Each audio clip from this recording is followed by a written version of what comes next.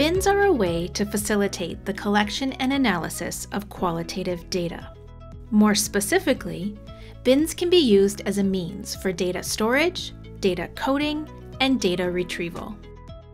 In this case, while reading the literature on any topic that you choose, the literature itself can be organized and coded, after which the contents of the bins can be retrieved for analytical and compositional purposes. Bins are a key approach to organizing any literature base for what can be an indefinite period of time. The BINS method for qualitative data analyses was developed by Miles and Huberman in the mid 1990s. It was adapted for use in codifying the scholarly literature by Audrey Amrein Beardsley, an education professor at Arizona State University. The BINS method can be used anywhere research is used for compositional purposes dissertations, scholarly articles, journal publications, or any research based essays or statements. Think of a bin as a basket into which you will put data from the scholarly literature that you read on any topic. Those things from the literature that you might find insightful, interesting, or useful as they pertain to your research you place in your bins. So, how do you get started? Once you have your research topic, determine the location where you will store your bins. This method was originally developed for use in a word processing software, but new citation management systems can be useful as well. For each article, before you begin reading, start with inserting the APA citation of the full reference at the top of your BINS document. As you read, you cut and paste into your BINS document anything that you would normally highlight or underline. One key is that you want all authors to be included in each citation, because if you have multiple articles from similar authors in your bins, it can get really confusing. And then you continue to read and read and read. The only rules here are that you must cite everything as per APA to deliberately avoid plagiarism, and you must commit to not quit working on your bins until all key literature sources are cited so that you can feasibly write an academic paper on the topic. As a side note, software like Zotero or PaperPile along with your PDF markup tools, can be a big help in this. The APA citation is important because you're reading and you're comprehending, but you're not doing what we might consider a traditional annotated bibliography, where you have to summarize everything you read into one paragraph. What you're literally doing is taking the key content that stands out to you and copying and pasting it into your bins with quotation marks around everything that you copy and paste, and the appropriate APA citation, not only for the article at the top, but also per quotation that you put with page numbers. This way, you are positive, absolutely 100% sure that you realize this is not your work, these are not your words, this is not your text. This is for the future, so you just don't accidentally think that you wrote something and then insert it into a paper and at a later date get charged with such a crime. When you begin, especially as a new researcher on any new topic, you will likely cut and paste a lot into your bins, given that you're likely a novice in this area. But as you proceed, you will approach something called saturation.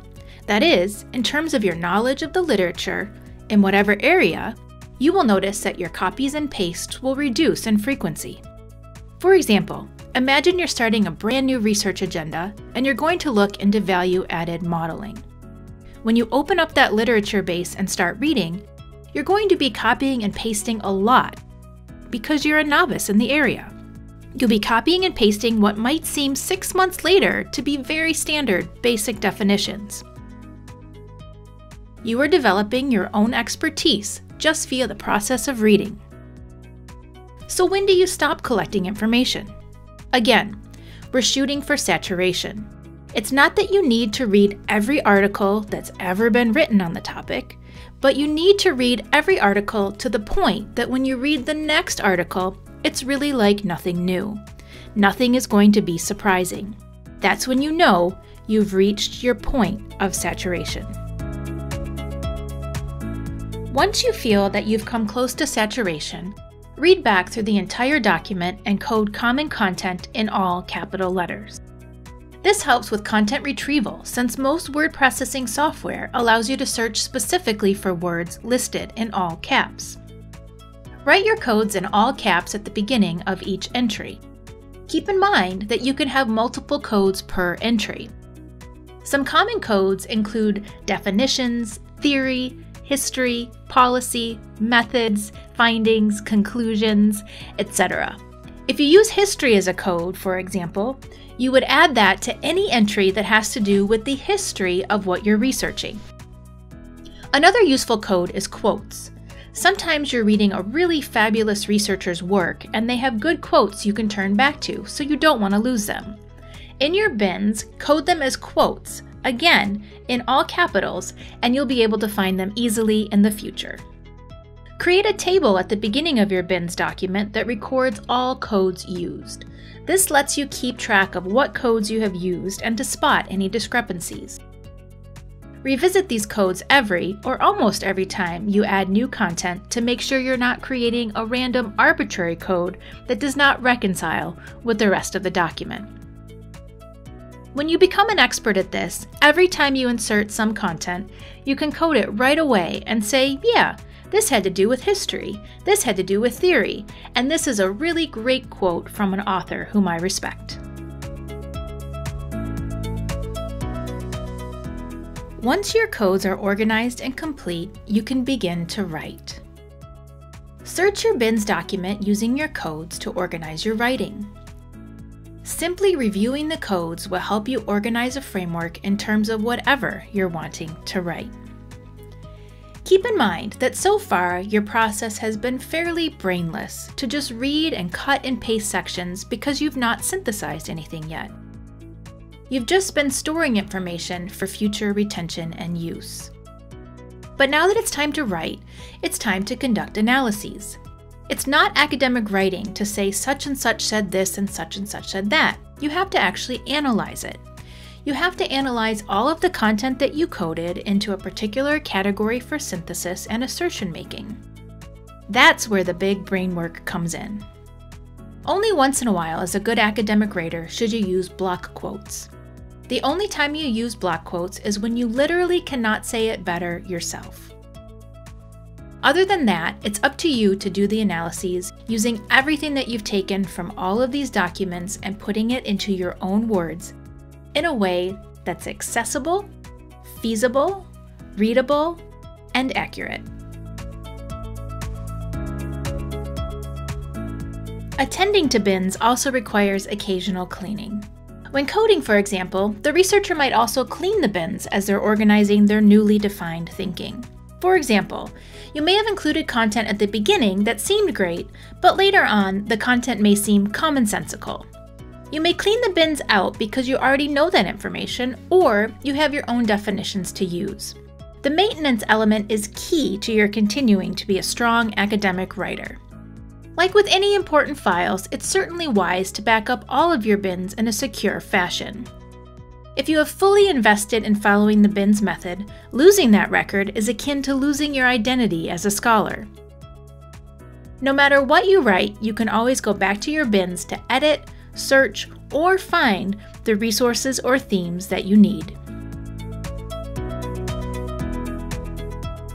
Here are some example bins from Audrey Amrein Beardsley.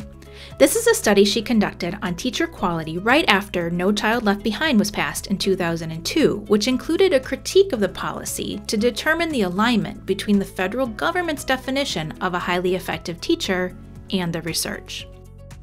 That required reading a lot of the research on how researchers define teacher quality. Here are the first two pages of the bins for the study. This set of bins was about 300 plus total pages. You can see here all of the codes and APA citations that she used to write a few articles on this particular topic.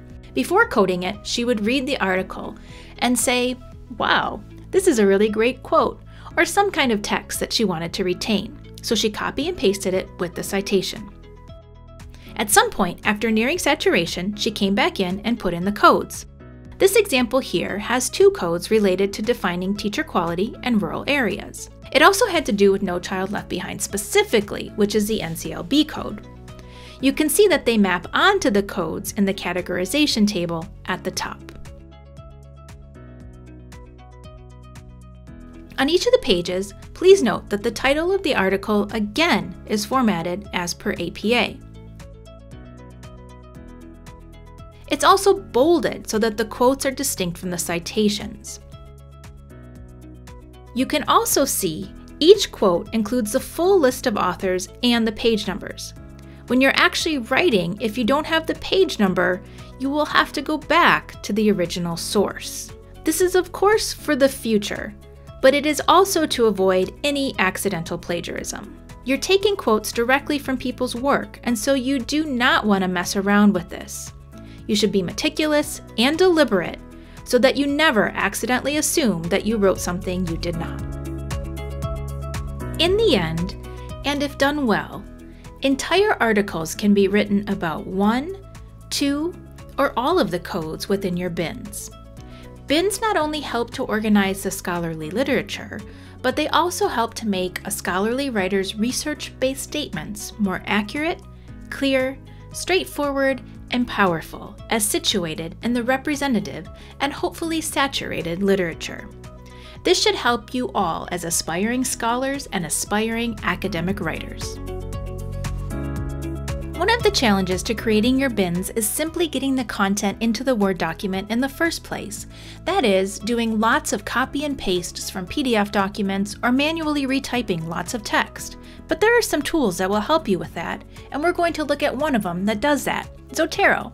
If you're not familiar with it, Zotero is a free reference management system that helps you keep track of your citations and bibliographies in your word processor. We'll begin by showing you what the software is designed to do, and then we'll show you how Zotero can help make creating your bins much easier. The whole idea behind a reference management system is that it allows you to quickly add your citations and build your bibliographies. So before I get into bins, let me give you the idea of what Zotero is designed to do, whether or not you use it for your bins. Once you've installed Zotero, you can see on the right hand side of the screen now, you'll be prompted to add the Zotero plugin to your browser. I've done that, and because I've installed it, you now see a small icon in my toolbar for adding content to Zotero. Once you have that plugin installed, you can start adding articles to your Zotero library right from your browser. And now I'll show you how that works. I've got three articles that I have found online that I want to add to my Zotero database, which you can see here on the right hand side of the screen. All I do is click on the Zotero icon, and you'll notice that the icon has turned into a little article because it recognizes that it's an article. And I'm going to click that article button and you'll see it's adding it into my Zotero library. And after it's been added, you can see that it's downloaded the PDF as well. And I'm going to clean that up right now by right clicking on my PDF and choosing Rename File from Parent Metadata. And then after that, I'm going to go ahead and fix the capitalization because with APA, we don't use all caps. So I'm going to set this to sentence case. Once I've done that, I've got two more articles that I want to add. So I'm going to add each of those as well, and I'm going to repeat that same process.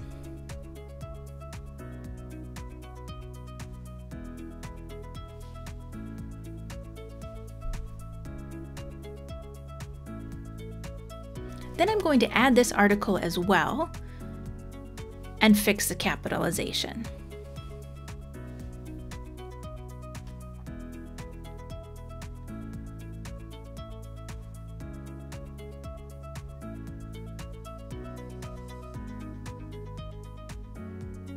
Once I've got my three articles in here, I go to Microsoft Word and I'm going to go ahead and add the citations we've just included in our Zotero database. I'm going to pick the location where I want to put the citation.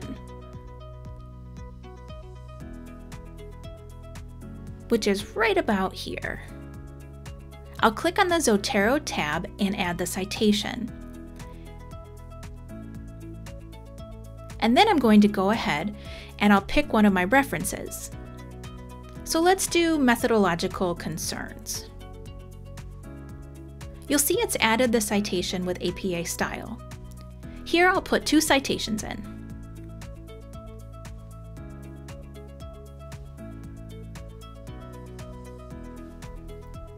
And then down here, I'll do a third.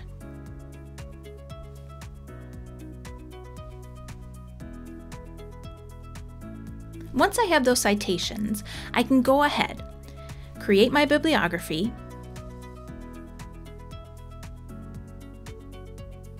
and then click Add Bibliography. In there, you'll see my bibliography all correctly formatted. So that's the main idea of how Zotero is designed to operate to help make the writing process much smoother. This is the primary use for this software, but we're going to take Zotero a step further by using it to create our bins. The first thing we'll do is make sure that Zotero's built-in PDF reader is turned on. I'm going to click on Preferences in General, and I'm going to make sure that it's set to use the PDF reader that's built into the software. And once I've done that, I'm going to double click on an article PDF to start reading. So here's one of the articles that I downloaded. I'm going to highlight some text here.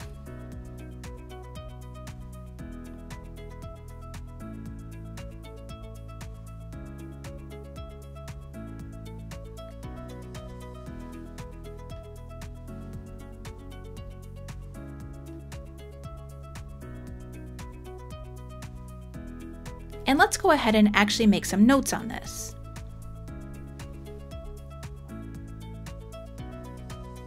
Now we want to get it into bins. So we show the notes panel, we click the plus sign, and we say add note from annotations. Then you'll see that it has added the notes that I've created, including at the bottom a little comment that I added. So to create your bin, you're going to go back to Word and you're going to pick up the bibliography from the item that you're going to add and paste that into Word. And go to the annotations and copy everything over to your bin. At this point, you have a little bit of cleanup to do, but you only need to do your coding, and I hope you can see how useful and helpful Zotero is for creating your bins. And that's a brief and speedy introduction to using the citation management tool Zotero to enhance your BINS experience. You may wish to revisit, replay, or slow down the video as you're setting up your own Zotero workspaces. Thank you for listening, and good luck in your searching, discovering, organizing, and synthesizing literature.